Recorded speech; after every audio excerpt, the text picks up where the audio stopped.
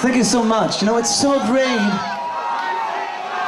It's so great that you really be here because of all the weather and thank you so much. They're real fans. Thank you.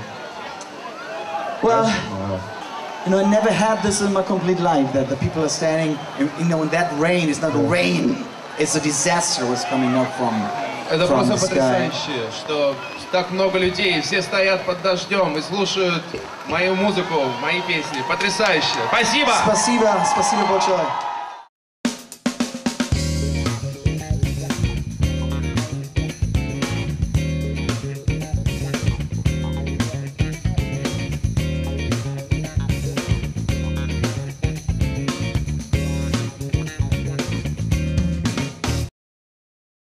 Welcome, Thomas.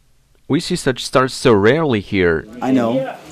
And in the rain, it's even much more rare. Yes, but despite the rain, your concert was very beautiful. How do you find Russian province? Well, it's Russian province, so.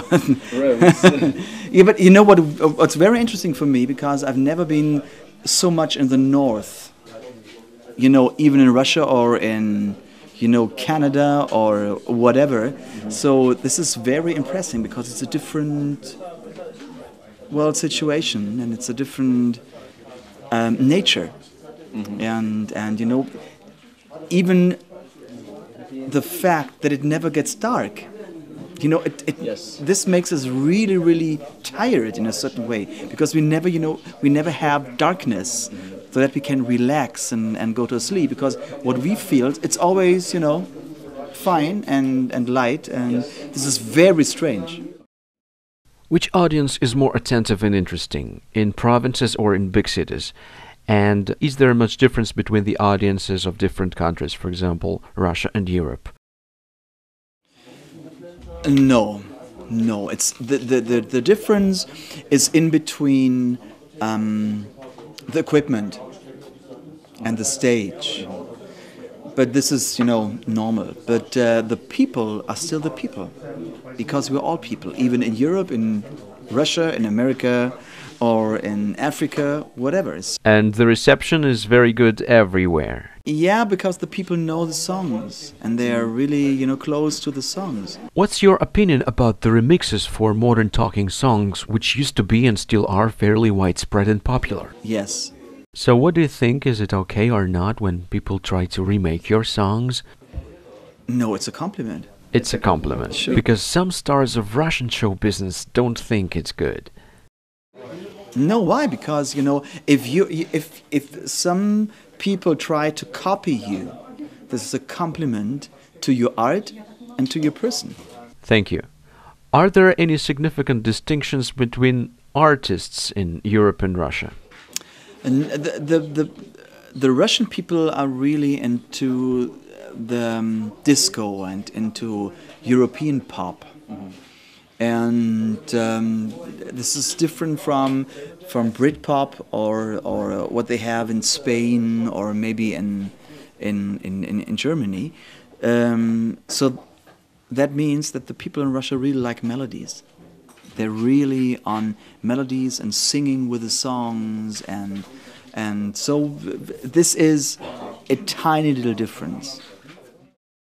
We have found some information about your participation in Eurovision Dance Contest. Is it true and what type of dance is your favorite? Oh, I can tell because I, you know, what, what I was, you know, asked if I would like to do this, the Eurovision Dance Contest, and I said I'm really not into dancing at all, standard dancing. So you've never taken participation in projects like we have here on Russian television, like figure skating with stars or the circus No. with stars? I never did this. I never did this before. So um, I give it a try, and now I'm doing for Germany. I'm the host of the show on the first of September. So um, this is important for me. But it was a great pleasure for me to do this because I was working five weeks, really hard, and it's really hard. It's really hard. I, I did about 50 hours of dancing, practicing, and um, but I really loved it. Okay. Can you remember any extraordinary experience in your life, no matter musical or not? Or you can ascribe this dancing experience to your extraordinary experience? Well, ex- ex- extraordinary is, you know, every day in life. You will never know what happened. So if you if you wake up in the morning, you really don't know what will be in the evening. So you know we have every day an extraordinary experience in a certain way. So dancing, I knew exactly what I had to do, but I never thought it would be so hard, to be really honest. But this is a part of entertainment business, but surviving life. This is you know much more interesting. Well, if you were not a musician, what profession would you choose?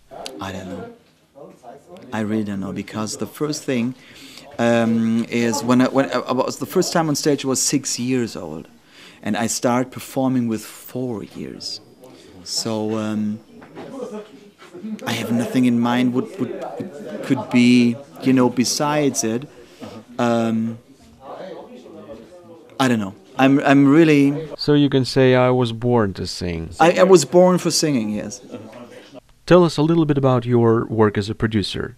Any new projects, maybe?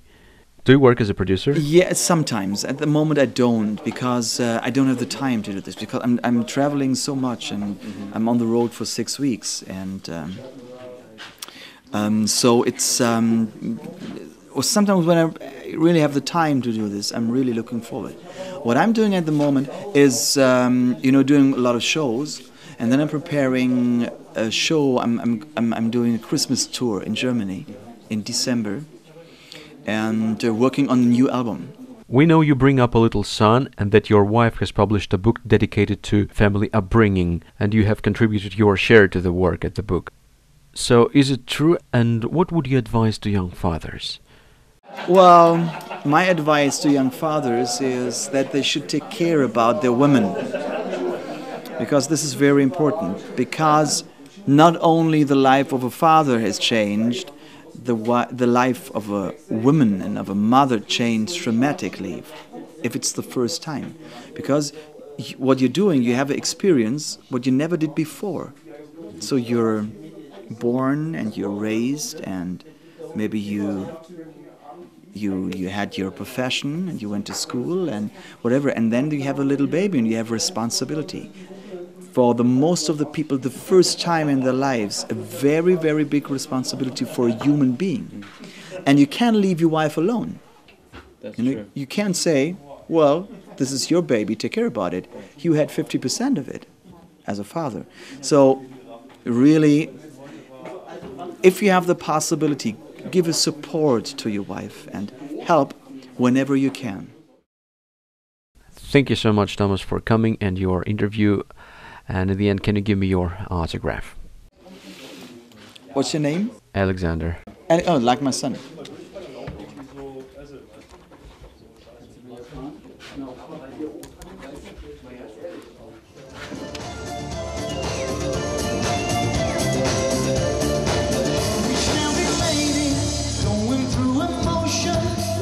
where you find it. Listen to your home. Cheri, Cheri